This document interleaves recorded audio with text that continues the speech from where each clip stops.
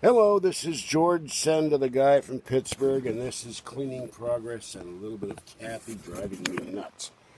She calls me up, aren't you paying attention to me? And I said, well, for two days my eyes went crazy, and I was rubbing one of them so hard I thought I opened a hole in my eyelid. It was an agony.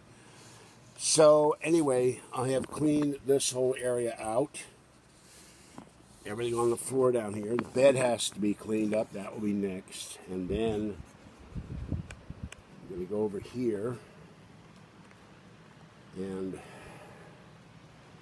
uh, Kathy is impatient at heart and doesn't understand the concept of I have things to do.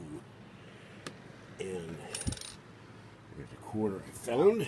All right, and then this thing I thoroughly cleaned it. This is a four drawer organizer. Now, if you went to Walmart and bought this, it'd be about 20 bucks.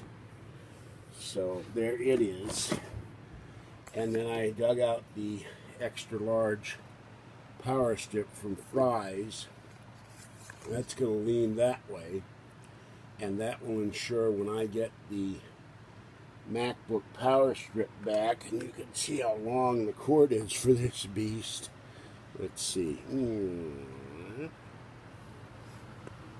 This is a very long cord, so I'm going to plug it in over there behind the milk crate. There we go, clean the dust off. And this has been sitting on the floor for, well, there's more dust. Uh, this has been sitting on the floor for a while, a long while. And um, there's Fuzzy sleeping with the slowly the world's biggest collection of cat toys. Not yet, but she's getting there. And there are two bags of recyclables to go out. That bucket of recyclables, uh, of trash, and that box is being saved for when I do laundry that's in the back room. So this is where I've gotten. So I'll hook this power strip up in a minute and that way when I do my videos the I won't have the charger cables running across the floor anymore. And ensure I won't pull out the cord. Oh yeah and Kathy I said call me back. I'm busy. So she went in the bathroom. I couldn't hear her. So I go across the room to pick up all the rest of the stuff off the floor. So the floor is at least empty of debris she calls me back, of course, when I'm way over across the room by the front door, and then says, Why didn't you answer the phone? I said, I can't fly over the sofa bed. I'm busy cleaning. Well, you told me to call you right back. And that's when I start getting ready to pound my head against the wall. Excuse me, because it would feel good. All right, I'm getting there. It's just slowly but surely. But that's two boxes of stuff. There's another box back there too. You can see that will go out. So two boxes of stuff that was in bags that is now going out, and I'll keep the bags for more paperwork. But it is absolutely roasting in here. It's 82 degrees, even with the, all the fans going and the door open. So um, I'll be so glad my charger gets back and uh, I can do proper videos again. And by the way, there are um, 24 days till Alien Con. I feel like it's, I'm announcing 24 days till Christmas and the coming of Santa Claus. So please donate so I can have a hotel room.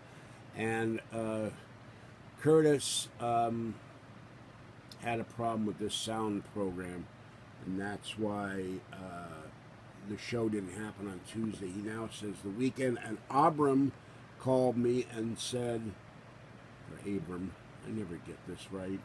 He says call him Zach, so I'll call him Zach, and uh, Zach Attack. and he said he got off of work and he's too tired to come over here. And I don't blame him. He works hard. It's hot. I don't know if they got air conditioning in that place or not. They're paying attention. So he says he'll come over tomorrow. So that's what's going on with me. Still working on cleaning everything on the chair there is stuff I put down after I went to the store, and I got to go through that and hang it up. But and I cleaned off this table a bit, and uh, you know this place will get clean. It's just going to take time and you know handwork, scrubbing, stuff like that. All right, this is George Senda, the guy from Pittsburgh. Have a great evening. Stay warm, dry, cool, or wet, or all of the above. And I wish I were cool. and above all, stay safe out there. And um, I will be probably back later with another video, depending if I haven't melted into a pool of goo by then after I go out and feed the cats. That's next after I put this thing over there. And then this thing will put the uh, stack of clothes in there. And then I can put important papers like my birth certificate if I ever find it. And some other papers I'm looking for. All right, getting there. And, you know, this place will get cleaner.